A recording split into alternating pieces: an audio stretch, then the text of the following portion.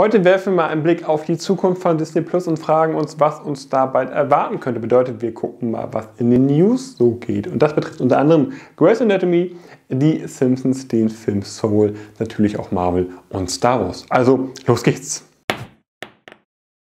Und starten wir doch die ersten Disney Plus News hier auf diesem Kanal doch mit den Simpsons, denn hier wurden zwei weitere Staffeln bestellt, bedeutet Nummer 33 und 34.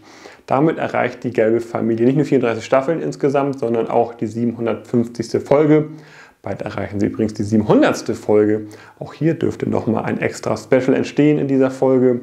Momentan gibt es 31 Staffeln auf Disney Plus. Die 32. dürfte es dann auch bald geben. Mal gucken, wann. Wie ist denn mit euch? Guckt ihr überhaupt nach die Simpsons oder denkt ihr, nee, über 30 Jahre, irgendwann ist doch auch mal gut?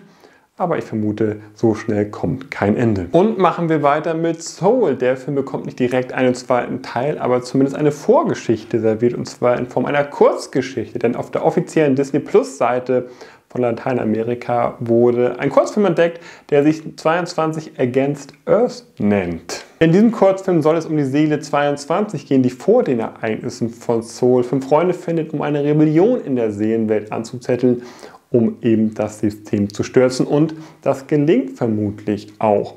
Der Kurzfilm ist für den 30. April deklariert worden in Lateinamerika. Hier wissen wir, dass er in Deutschland noch nicht kommen wird. Auch in Amerika ist er noch nicht gelistet, aber wenn er bereits in Lateinamerika gezeigt wird im April, dann wird es nicht lange dauern, bis wir uns auch hier in Deutschland auf einen quasi zweiten Teil oder eben zumindest eine kleine Geschichte freuen dürfen. Machen wir weiter mit der wohl beliebtesten Ärzte-Serie. Hier gibt es die 17. Staffel, wie mein Was kommt im April auf Star Video schon erwähnt, eben ab dem 21. April direkt auf Star und dann wöchentlich. Es kann sogar die letzte Staffel sein, das sind aber nur Gerüchte und auch eine Woche später erst, und das ist ein Fakt, am 28. April startet dann die 17. Staffel auf Pro7 und dann eben auch auf Join.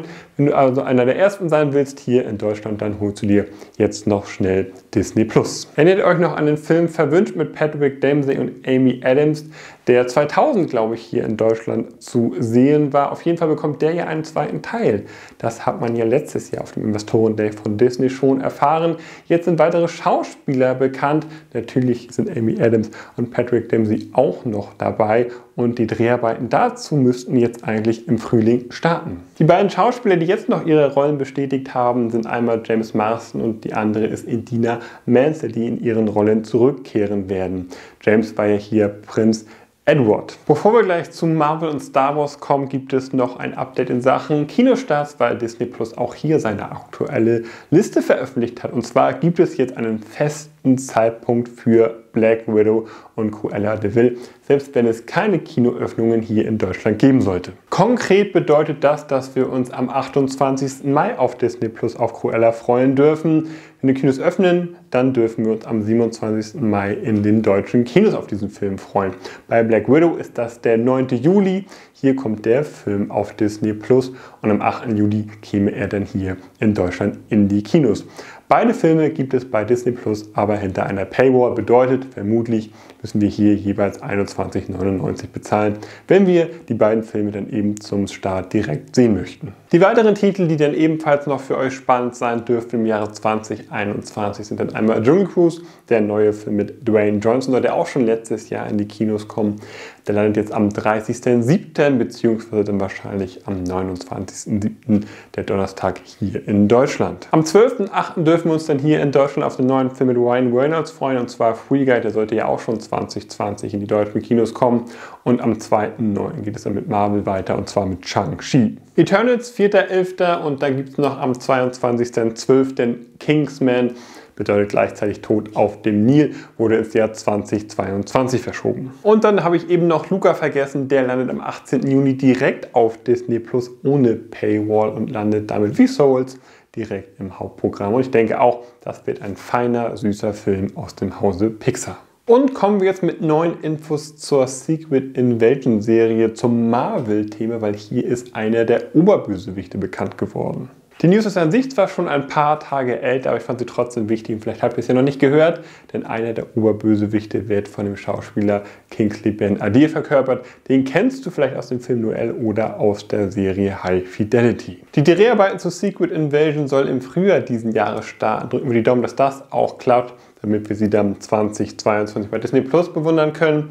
Und sie könnte entweder die Vorgeschichte von Captain Marvel 2 erzählen oder danach stattfinden. Der Film, also Captain Marvel 2, soll ja aktuell noch im November 2022 in die Kinos kommen. Von daher sind wir mal gespannt, ob die Serie vorher oder nachher dann eben auf Disney Plus landen wird. Und kommen wir jetzt auch zu der Star Wars News, die vielleicht einige Fans traurig stimmen werden, weil Sebastian Stan hat noch einmal in einem Interview betont, er wird nicht Luke Skywalker spielen. Es gibt hier nichts Offizielles. Nur wenn Mark Hamill zu ihm kommen würde und wirklich sagen würde, ey, Sebastian, ich würde die Rolle gerne mit dir teilen, dann wird er es glauben und dann könnte er es sich auch vorstellen. Aber nein, es gibt nichts Offizielles dazu, dass er eben niemals Luke Skywalker verkörpern würde. Die Idee kam von vielen Fans auf, als ein Bild von ihm eben auf Luke Skywalker gemorpht wurde. Und seitdem gibt es das Gerücht, dass er eben Luke Skywalker verkörpern könnte. Und man muss ja zugeben, er sieht ganz gut aus als Luke Skywalker. Er wird sich wohl auch gut in der Rolle machen, würde ich auch sagen. Aber wie gesagt, was Offizielles gibt es dazu nicht.